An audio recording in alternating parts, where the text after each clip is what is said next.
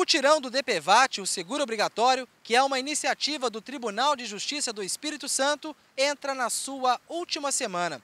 Agora, as audiências de conciliação vão acontecer na cidade de Una, na região do Caparaó, que também vão atender os municípios de Ibatiba, Muniz Freire, Dores do Rio Preto, Conceição do Castelo, Ibitirama e Venda Nova do Imigrante.